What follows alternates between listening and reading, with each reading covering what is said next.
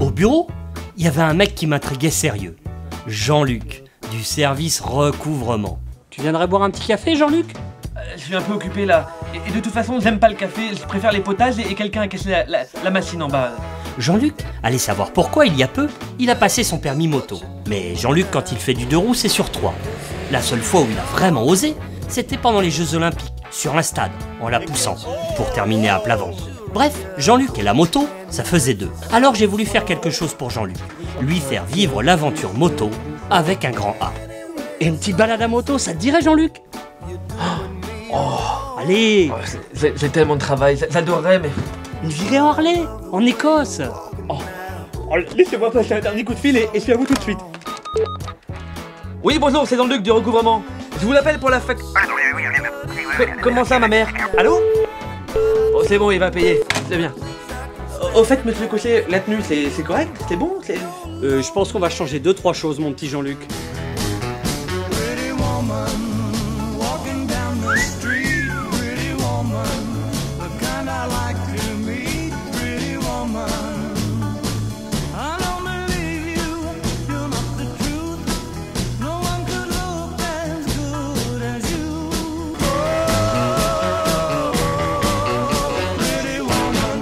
C'est ainsi qu'un beau matin, nous sommes partis pour un authentique road trip en Harley Davidson, direction l'Écosse.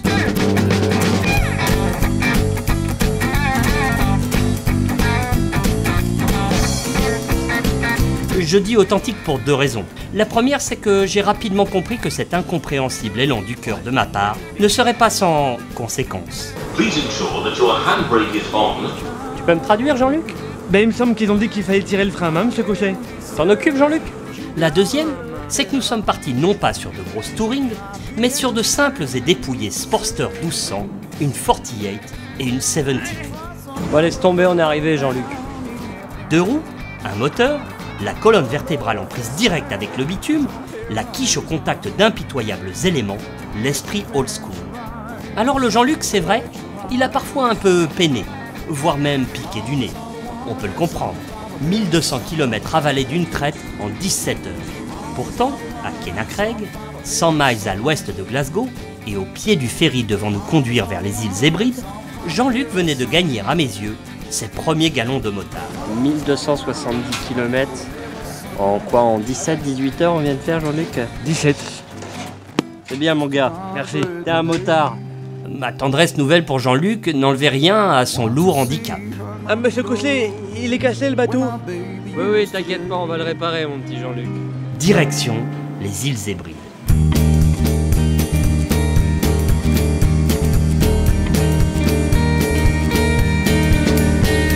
Trois heures plus tard, nous foulons du bout des pneus notre Saint Graal, l'île d'Ailey, la reine des Hébrides.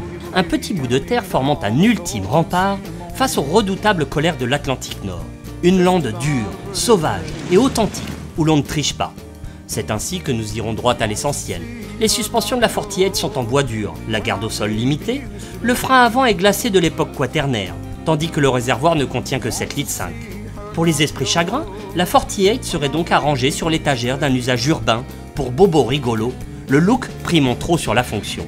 Pourtant, ce sont justement l'ensemble de ces défauts qui vous rappellent que vous êtes sur une moto hors norme, à fort caractère et terriblement attachante. Hyper dépouillée, rabaissée au maximum, avec son énorme pneu avant ballon monté sur une petite jambe de 16 pouces, son phare minimaliste et ses rétros disposés sous le guidon, la 48 puise clairement son inspiration dans les bobbers des années 40 aux USA. La 48 vous aura prévenu, avec elle, ce sera vache et sans concession. Une sensation renforcée par une selle monoplace à ressort, disponible en accessoire. Mais voilà, les Iliens d'Ailey ne vivraient pour rien au monde sous le soleil des tropiques. Alors comme eux, prenons l'équation à rebrousse-poil.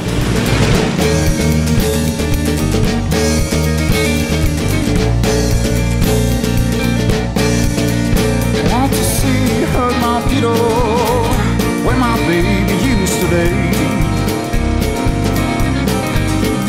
Want to see her Mojito where my baby used to lay.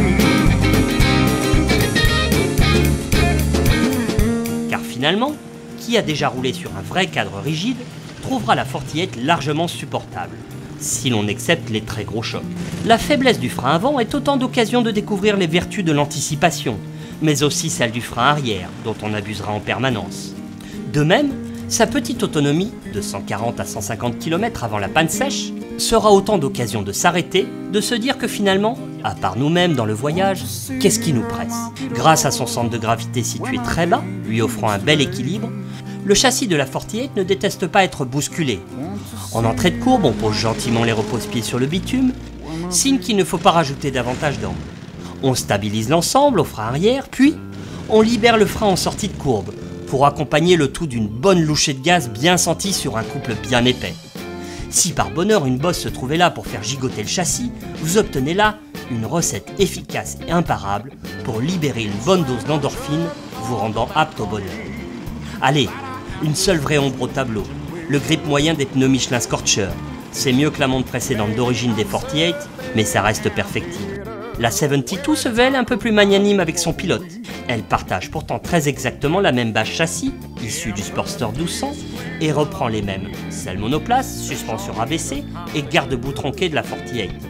Pourtant, avec son guidon à la limite du Hanger, ses pneus fins à flanc blanc, sa grande roue avant de 21 pouces, sa superbe peinture Metal Flake, la 72 revendique plutôt la tendance custom culture de San Francisco, le vrai chopper dans toute sa splendeur. La 72, le Jean-Luc y restait scotché comme une moule à son rocher, appréciant un confort supérieur à celui de la 48, grâce à une fourche au débattement plus important et à sa selle d'origine mieux rembourrée. Et à un train avant un peu plus facile à guider lorsque la route se dégrade, essentiellement grâce à la roue avant de 21 pouces.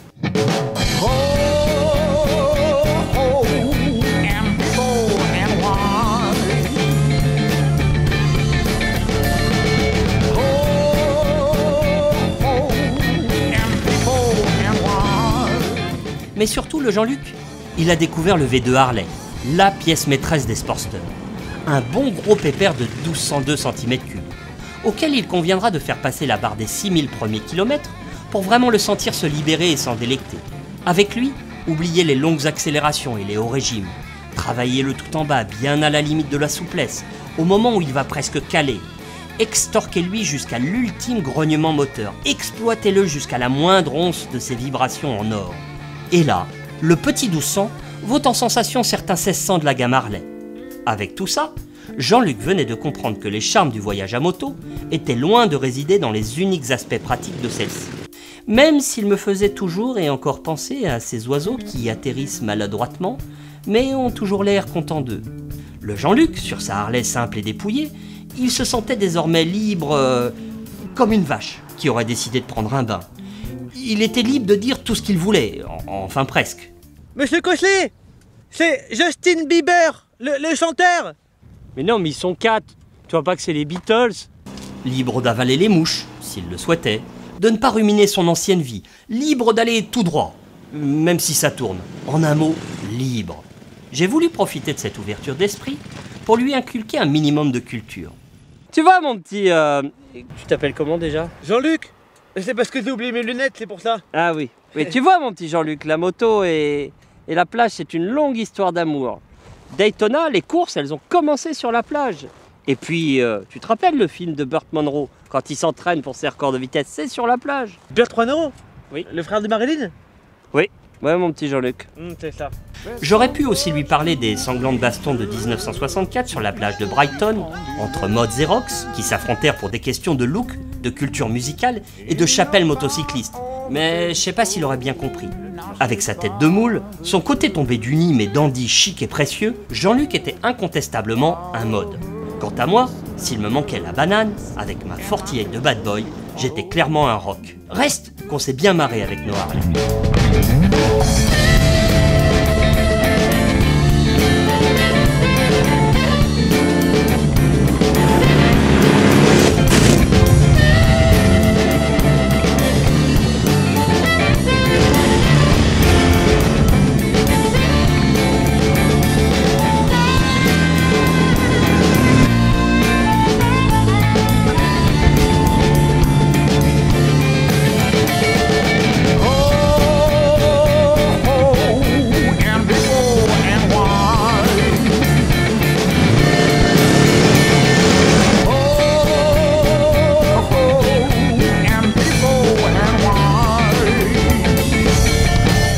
Notre affrontement s'est limité à une joute sur la plage, sans intervention de la police. Comme on n'est pas des sauvages, j'ai aussi appris à Jean-Luc qu'une moto, ça se lave, après un ride dans l'eau salée. Mais au fait, un but est nécessaire à chaque voyage. Alors pourquoi avoir choisi les îles Hébrides? Pourquoi il Et là, le Jean-Luc, il n'était pas au bout de ses découvertes. Tout simplement parce que Noirley a la tradition plus que centenaire, la marque fêtant ses 110 ans cette année, venait à la rencontre d'une autre tradition doublement centenaire à Islay, celle du whisky single malt. L'île abritant 8 des plus célèbres distilleries de malt au monde. Islay, Harley, Harley, Islay. Alors, à dos de nos authentiques montures, j'ai emmené Jean-Luc à la découverte des Bruichladdich, Ardbeg, Lafroeg. En compagnie de Michael Heads, directeur d'Ardbeg, nous avons tenté de l'initier à quelques secrets. Car tout comme nos motos tiennent leur réservoir peanut des années 1960, le whisky est le résultat d'un ancestral savoir-faire. On lui a expliqué qu'il fallait dans un premier temps étendre l'orge sur d'immenses aires pour l'humidifier afin qu'il germe, l'amidon qu'il contient se transformant en sucre. Ensuite, l'orge est acheminée vers un fumoir, où il y est fumé pendant 13 heures sous un feu de tourbe, ce qui lui donne ce goût unique, fumé et terrien. Avec ça, ça va fumer, hein? Uh, this style of uh, whiskey, it was made, you know, c- over two, 200 years ago or even longer. That was our fuel. That's what we burned here. Mm-hmm. So when you made whiskey, obviously you have to germinate and then dry the malt. So you burned it with peat. So and the result was this big, rich, smoky whiskey that you mm-hmm. got. Le malt obtenu est moulé dans ces vieux moulins. So this is just the mash tun. So after the mill, all the grist is stored in the bin above us, uh-huh. 4,500 kilograms, 4.5 tons, and we add it into the mash tun along with uh, 17,500 litres of hot water mm. at 64 degrees centigrade. Oh, Un Commodore 386 DX35 So that's the optimum temperature for uh, enzyme activation and to start breaking down the starches into simple sugars. So this is the tun room, this is where we do all the fermentation. Ça n'a pas été encore distillé, mais c'est peut-être un peu fort pour toi, mon petit Jean-Luc. On y va? Ok. Arrête ces gamineries, c'est pénible à la fin. Vient ensuite le procédé de distillation. What happens is when you fermented the wash, Yes. after fermentation, 55 hours, uh, the alcohol content is about 7.5 to 8%. You pump the wash for distillation in the wash still. You can hear the steam coming in here. We use steam to heat the liquid up. That's a heating Okay. element here. So we, Okay. have, we have stainless steel pans inside the still. So it's like a boiling a big kettle, Yes. if you like. So you fill the still up with wash. Uh, you put the steam on, you get it to boiling point. When it gets around about 88, 90 degrees centigrade, some of the alcohol and water will start distilling off. Yes. Now this comes off as what we call low wines. La mise en tonneau ne fait elle que précéder de longues années de stockage et d'attente, un aspect primordial dans la fabrication du whisky. You say angel share. Angel share, yeah. Uh, the evaporation from the uh. cask. So uh, it's between two and two and a half percent a year Uh-huh. you would lose. The law, what does well, the the law is three years. Three years three only. years. Nobody Before- use. Before it, mm, up three years to four years, I think we can use a lot for for blending. Uh-huh. But, uh, but three years, it then becomes Scotch. It's not allowed. Marrant comme l'histoire de ces single malt et de nos Harley se superpose. Plutôt délaissés et peu considérés dans les années 80, Harley et whisky sont aujourd'hui terriblement tendance dans l'air du temps, et donc forcément soumis à la loi du marketing. Tout comme en achetant une Harley on devient membre du Hog, en s'inscrivant chez Hardberg on devient ami pour la vie, et on se voit octroyer une symbolique parcelle de terre d'un square foot. Oh, je suis ému. C'est la première fois que je suis propriétaire. 306, 378, 056, 820, ça doit être là-bas. 827 Ouais, c'est là-bas. C'est ah, juste là. Monsieur Cochelet C'est là C'est chez moi ici L'abus d'alcool étant dangereux pour la santé et la conduite, nous sommes repartis sobrement vers de nouvelles aventures. Car sur Riley, la vie est enivrante à elle seule. Avec pour seules armes deux machines qui attirent invariablement les regards, un casque jet pour découvrir un large sourire, nous avons provoqué de nouvelles et enrichissantes rencontres.